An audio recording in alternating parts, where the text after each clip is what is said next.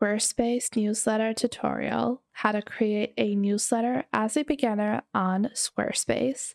Hey guys, welcome back. In this video, I'll be showing you guys how you can build a newsletter. So let's jump right in. Now, I have this website on Squarespace, and the first step to building our newsletter is a subscription box for our customers. So to do that, you're going to click on edit on the top left. Once you do that, this will open up your website in full and you can just go on ahead and go into any section. Now I want to add a subscription box at the bottom. So I will click on add section and then once you click on add section, you will see multiple different types of sections.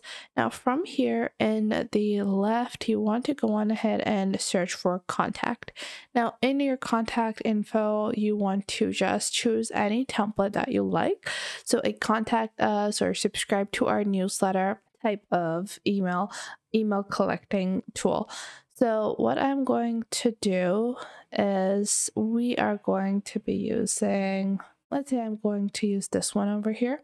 And once I've added this section, I'm going to change this a bit because I want this to be focused on people receiving my newsletters. And you just want to provide your customers or your viewers some idea of what benefit or what value they will be receiving if they subscribe to your newsletter. So if I go on over here, I'm just going to click on the heading and I'm just going to add subscribe to our newsletter like this. And then after that, we're going to write a bit of a description. So I'm not going to make this too long. I'm just going to add, you know, some basic value that I'm going to be providing in my newsletter. So uh, learn all about the latest fashion trends and styles and get exclusive discounts on our mailing list like this. And then after that, we have a name field that is required email and message field. Now, you can always edit this as well. So to edit this, just click on the dialog box and on the top left, you will have a pen icon. You can click on that and I'm going to change this form name into newsletter subscription. So it makes sense for me whenever I am looking at it later. And then the button text, instead of being send, I wanted to say subscribe like this because people are subscribing to the newsletter. They are not, you know, sending me a message like this. And then after that, I'm going to edit the form field, which are like the name, email, and message. I'm going to edit that and I'm going to remove this field of messaging and I am not going to make the name required, or you can even delete the naming field if it's not required post submit what kind of message should you get? So after the submission i want people to say thank you for subscribing.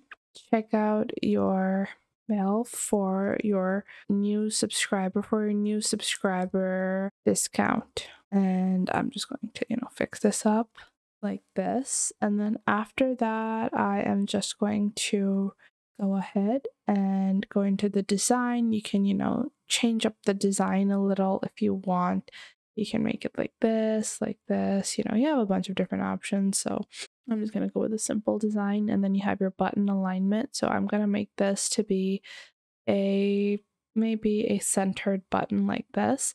And then you can choose if this is a light box. So a light box is whether or not it should be opened up or if it should already be open. I'm going to keep this as opened up. And then once I've completed that, I will click on save on the top left. Now, once I have completed building my actual newsletter subscription, I can get started with Squarespace newsletters. So I'm going to click on exit over here. And once I click on exit, I can click on marketing on the left panel over here. Once I click on marketing, you will see you will have your marketing tools and email campaigns. Now, we have a promotional pop up, we have announcement bars, URL builders, and more, but we've already created our newsletter subscription and we want to get started with emailing to our newsletter subscribers. So we're going to go into email campaigns over here and click on create. From here, you can choose the type of email you want. If it's a welcome email, a seasonal email, a automation email, or a regular email that is going to be sent to all of your email subscribers. Now, I want to send a thank you email, and instead of this being after a purchase. Let's say I want this to be, um, you know, after they have um, subscribed and I want to provide them with a discount. I'm going to click on repeat customer email. I'm going to edit this and click on use this template. Now, once I've opened up this template, you guys can see on the right, there are some automation settings. So I'm going to edit those first. And then this is based on the purchase of a product. Now I'm going to turn this off and you guys can see it could be a specific product it could be any one product. I don't want to use this particular type of automation so i'm not going to use this one. I'm going to use a different mail i'm going to click on create and it could be based upon a subscriber activity a customer activity. So i want this to be on subscriber activity and whenever uh, someone subscribes i want to send an email. So i'm going to use this as a welcome email and then after that, I am going to use a template like this one, pretty similar. And I'm going to click on use this template. And then we're going to go into when a person signs up to, let's say, our site, all subscribers select mailing list. So I can choose a particular mailing list or leads people who accept marketing and haven't made a purchase from you yet. I want this to be for all my new subscribers. Then I want to immediately mail them and then I'm going to go back we're going to start editing some of the email elements. So mm, I'm going to click on over here and I'm going to add welcome to the your Den newsletter. Enjoy 10% off with our code. And then in your shop now button, you're going to click on it. And on the left panel over here, you're going to link your web address, whatever is your web address for your Squarespace website. Then you have your styles on the right as well, as well as some of the text and button styles. We have this image, which I'm going to replace. I can click on select from library and I can upload my own image. I can go into the free images and use one of the free images as well. So I'm just going to use a free image from here. And I think I'm going to go on ahead and go into the email and then after this, I'm going to create my own image section that's, you know, broad. And I'm going to add an image, select or go for a free image, depending on your depending on the size of your business. If you have, you know, a lot of your own content, then you can add that. But I'm going to upload a file instead like this.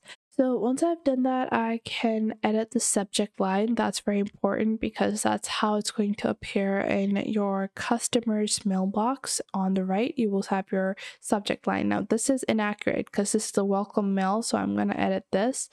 And then I'm going to add welcome to Den's newsletter. And then I'm just going to insert the customer first name and you can also choose to add the full name, the full first name, the mailing list name, the site title as well. And then the preview is here's a special discount for you, which I think is pretty accurate.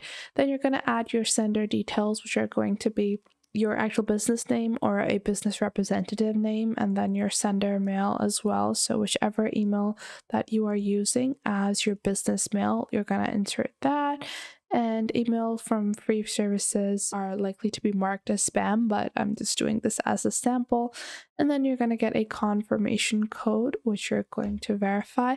And just like that, you can get started with emailing and sending newsletters on Squarespace. So I hope you guys found this video helpful. If you did, make sure to leave a like and subscribe. And if you have any questions or queries, leave those in the comment box down below. I would love to know what you guys have to say.